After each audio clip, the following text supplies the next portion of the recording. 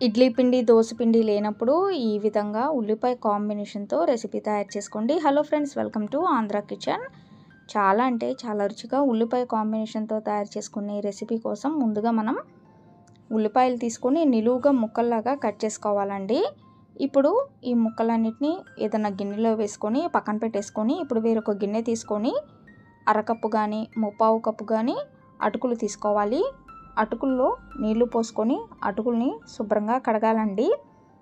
అటుకులు కడిగిన తర్వాత ఆ నీటి మొత్తాన్ని ఉంచేసుకోవాలి. ఇప్పుడు ఈ అటుకుల్లో మూత పెట్టేసుకొని ఈ అటుకుల పైన మూత పెట్టేసుకొని పక్కన పెట్టేసుకోవాలి. ఇక నీళ్ళు పోయకూడదండి. ఆల్రెడీ కడిగాం కాబట్టి ఆ నీళ్ళే సరిపోతాయి. ఇప్పుడు మనం ముందుగా కట్ చేసుకున్న ఉల్లిపాయ ముక్కల్ని బాగా కలుపుకోవాలి. ఈ విధంగా ఉల్లిపాయ ముక్కలన్నీ విడివిడిగా అయ్యేటట్లు కలుపుకున్న తర్వాత ఇందులోకి మనం కారం వేసుకోవాలండి. ఇక్కడ నేను అర చెంచా వరకు కారం వేసుకున్నాను. అలాగే గరం మసాలా పావు చెంచా జీలకర్ర పొడి పావు చెంచా వేసుకున్నాను.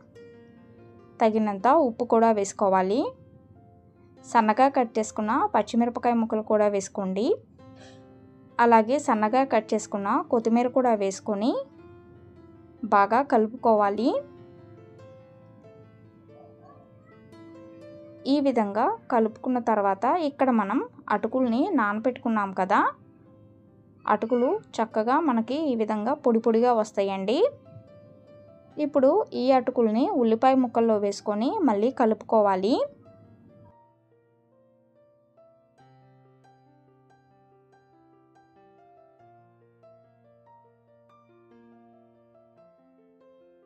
ఈ విధంగా అటుకులు ఉల్లిపాయ ముక్కలు మసాలా అంతా బాగా కలిసే వరకు కలుపుకున్న తర్వాత పక్కన పెట్టేసుకోండి. ఇక్కడ మనకి స్టఫింగ్ అనేది రెడీ అయిపోయింది. అలాగే ఇక్కడ నేను చపాతీ పిండిని కూడా కలుపుకొని పక్కన పెట్టేసుకున్నాను.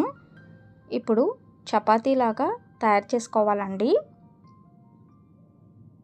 ఇలా తయారు చేసుకున్న తర్వాత ఇక్కడ నేను ఒక చపాతీ పైన అంటే మరీ కట్ చేయకుండా ఉరకనే ఘాటులాగా పెట్టుకుంటున్నాను అనమాట అంతే. ఇప్పుడు ఒక భాగంలో మనం రెడీ చేసుకున్న స్టఫింగ్ అనేది పెట్టేసుకుంటున్నానండి. ఇప్పుడు ఫోల్డ్ చేసుకోవాలి మధ్యలోకి. ఆ తర్వాత మళ్ళీ మధ్యలోకి ఫోల్డ్ చేసుకోవాలండి. ఇలా ఫోల్డ్ చేసుకొని తర్వాత మళ్ళీ పైన చపాతీలాగా నొక్కేసుకోవటమే. పొడిపిండి వేసుకొని రెండు వైపులా మళ్ళీ చపాతీలాగా తయారు చేసుకోవాలండి. కూరతో పని లేకుండా ఈ విధంగా ఆలు అలాగే అటుకులు కాంబినేషన్తో చపాతీ అనేది చాలా రుచిగా ఉంటుందండి. ఇక్కడ మీరు స్టఫింగ్లో కావాలంటే బంగాళాదుంప ఉడికించుకొని కూడా కలుపుకోవచ్చు. అటుకులు ఉల్లిపాయ ముక్కలు బంగాళాదుంపను కూడా ఉడికించుకొని కలుపుకొని తయారు చేసుకోవచ్చు. బంగాళాదుంప ఉడికించుకోలేకపోతే ఈ విధంగా అటుకులు ఉల్లిపాయ ముక్కలతో తయారు చేసుకున్నా కూడా చాలా రుచిగా ఉంటుందండి. ఉట్టిదే తినేసేయచ్చు అంత కమ్మగా ఉంటుంది. మీరు ఈ చపాతీని కాల్చుకునేటప్పుడు కొంచెం నూనె కానీ నెయ్యి కానీ వేసుకొని రెండు వైపులా కాల్చుకోవాలి. చాలా అంటే చాలా మెత్తగా ఉంటుంది చపాతీ అనేది కూడా.